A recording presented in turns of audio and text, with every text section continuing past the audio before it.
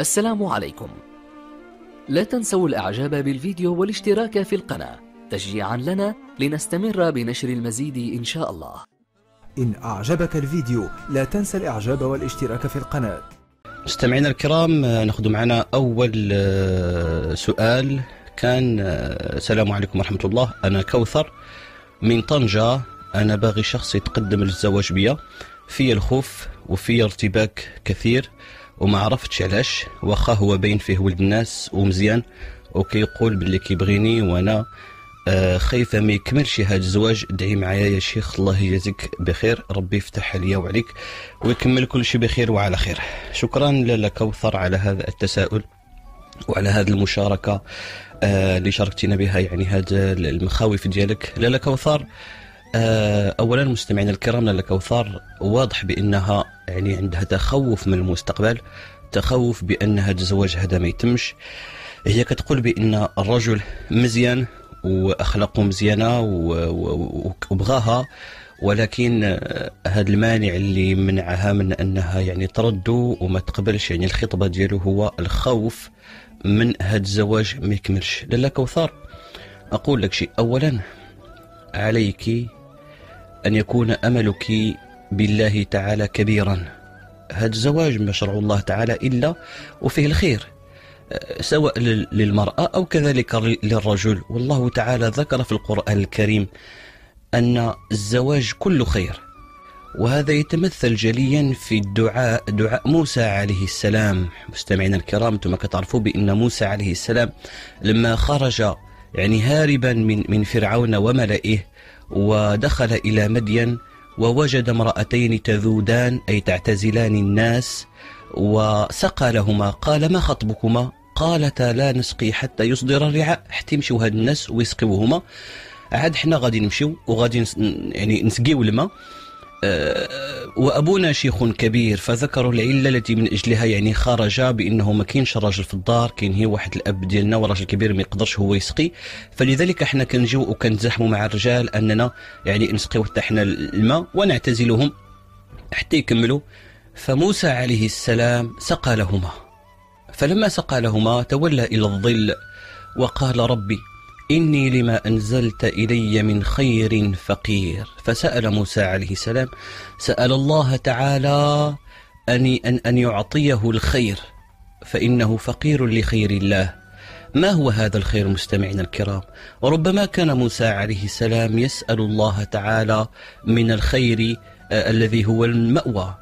أو الذي هو الطعام لأنه كما ورد في بعض كتب التفسير أنه يعني آه، دخل إلى مدين وقد التصق بطنه بظهره من شدة الجوع وكذلك انتفخت آه، قدماه من شدة المشي.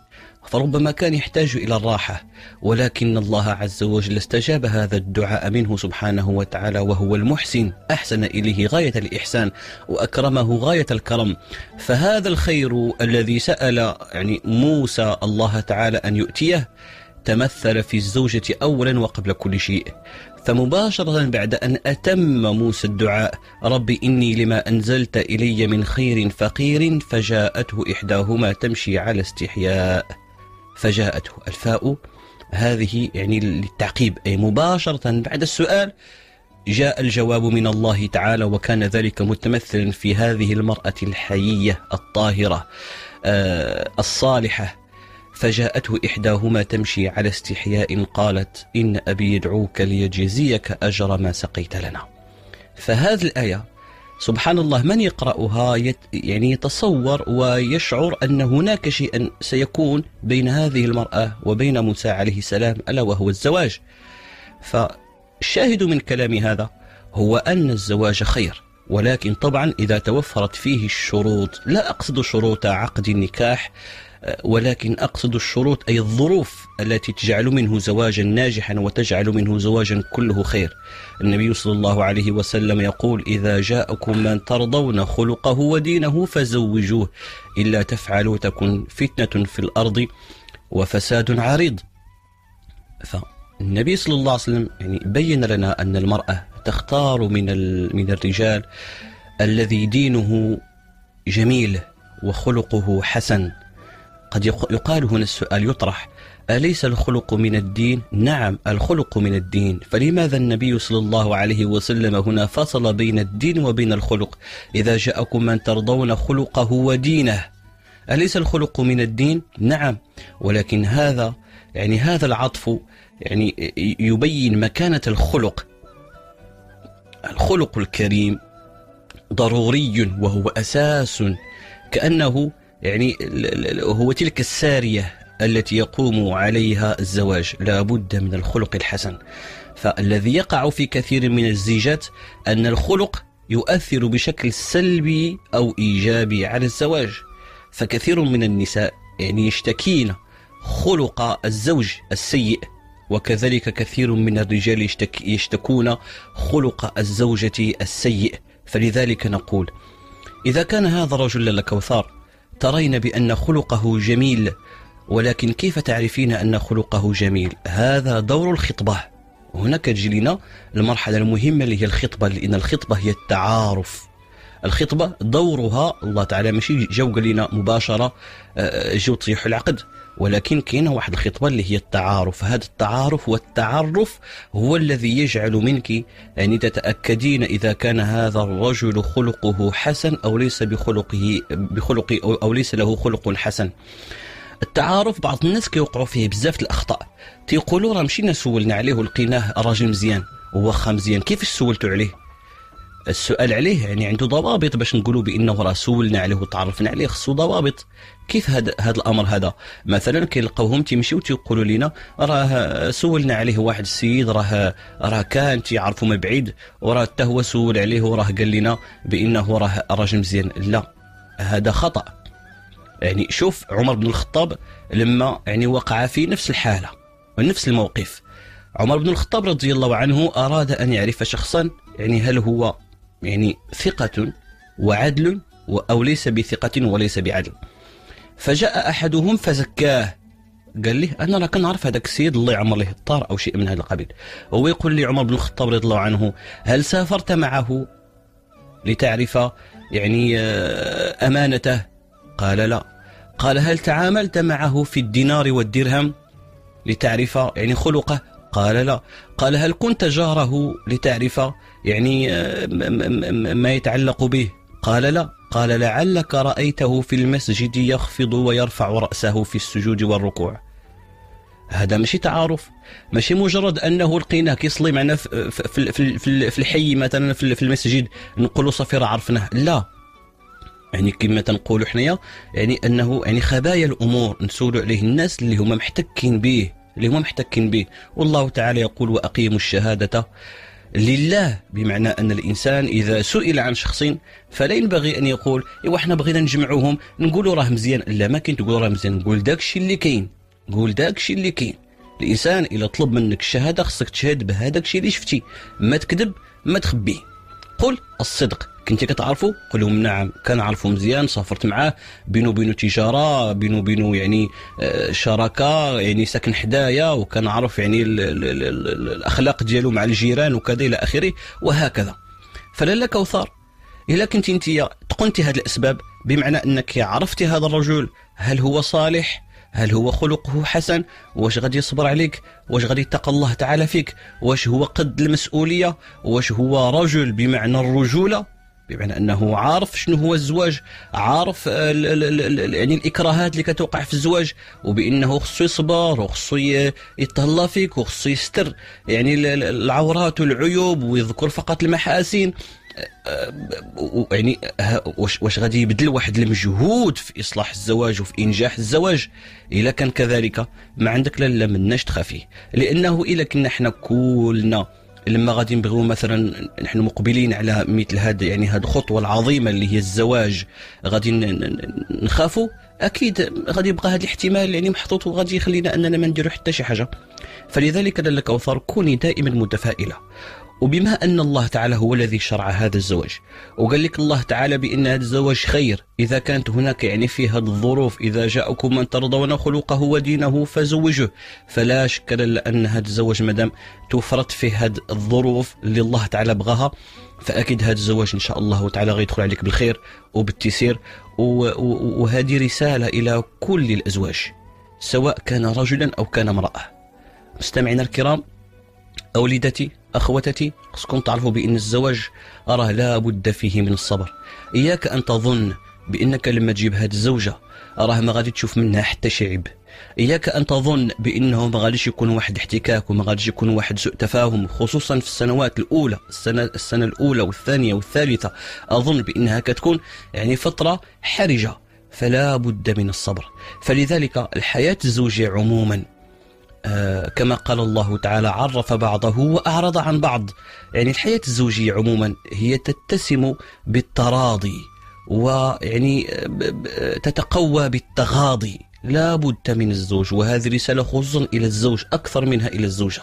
لا بد من التغاضي لا بد من التغافل. كما قال أحد السلف اجعل ثلثي عقلك آه، تغافلا وثلثه فطنة.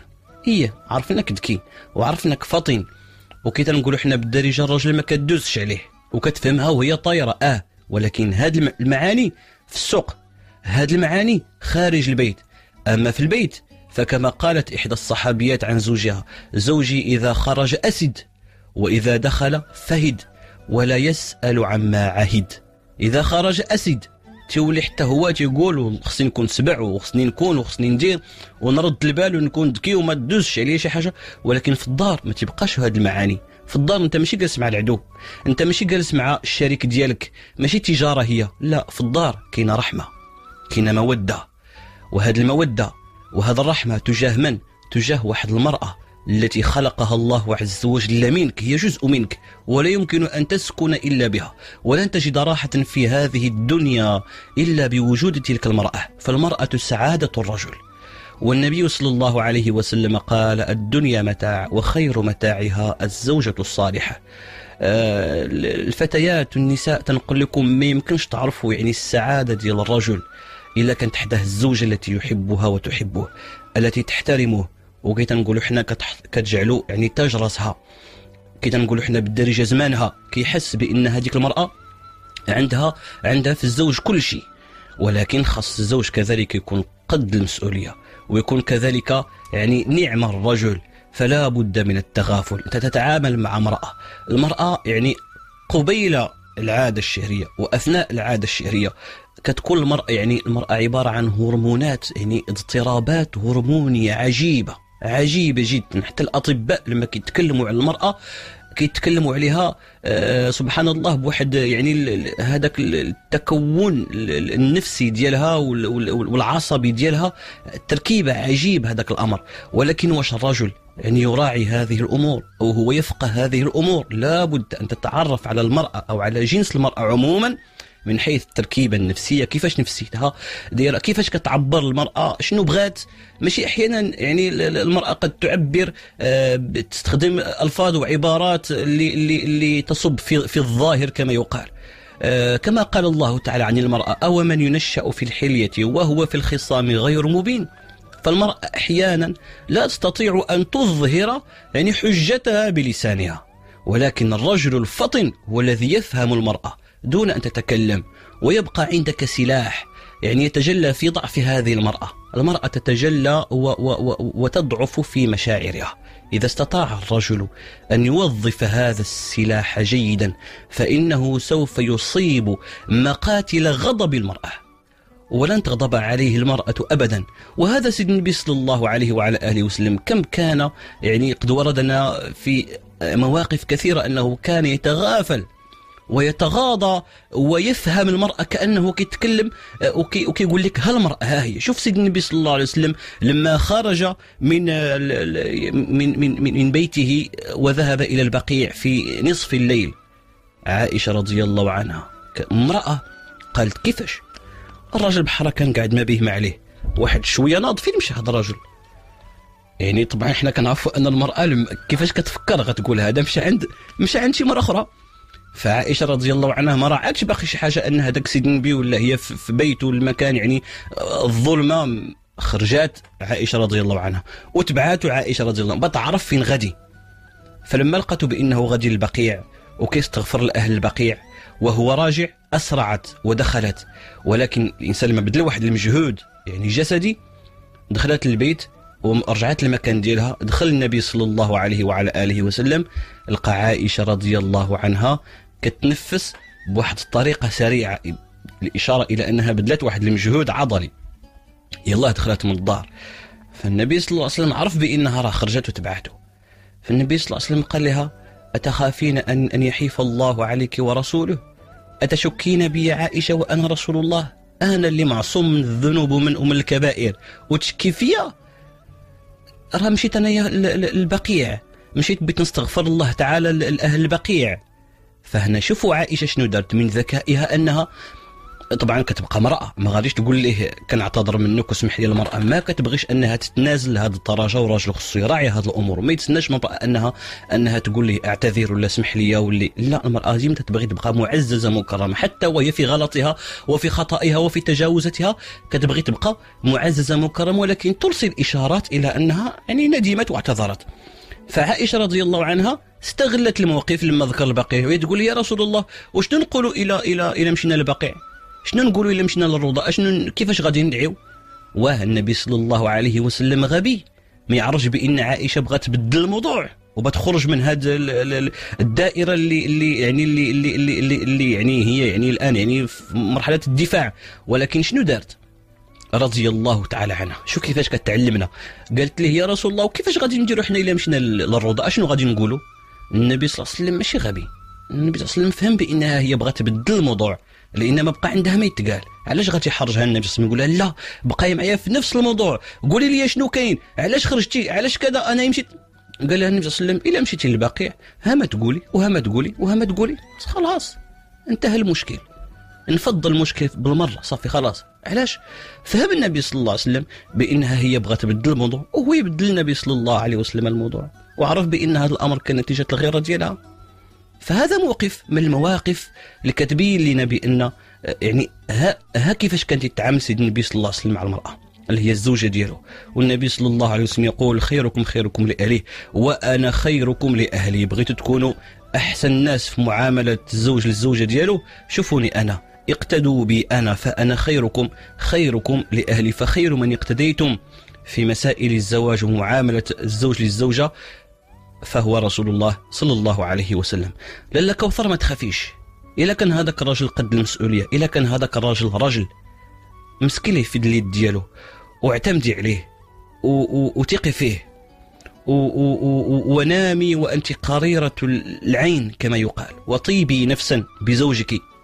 بإذن الله تعالى. ما غاديش يخيب الظن ما غاديش يخيب الظن ديالك فيه. والله تعالى أعلم. وأسأل الله تعالى أن ييسر لك ولسائر أخواتنا وبناتنا. نسأل الله تعالى أن يجعل زواجهم زواجا مباركا ميمونا وأن يصلح أزواجهم وأن يجعلهم آه، في ويجعل أزواج آه، يعني ويجعل هذه الزيجات في أتم خير وبركة وعافية. يا أرحم الراحمين يا رب العالمين. والله تعالى أعلم وأحكم. إن أعجبك الفيديو لا تنسى الإعجاب والاشتراك في القناة.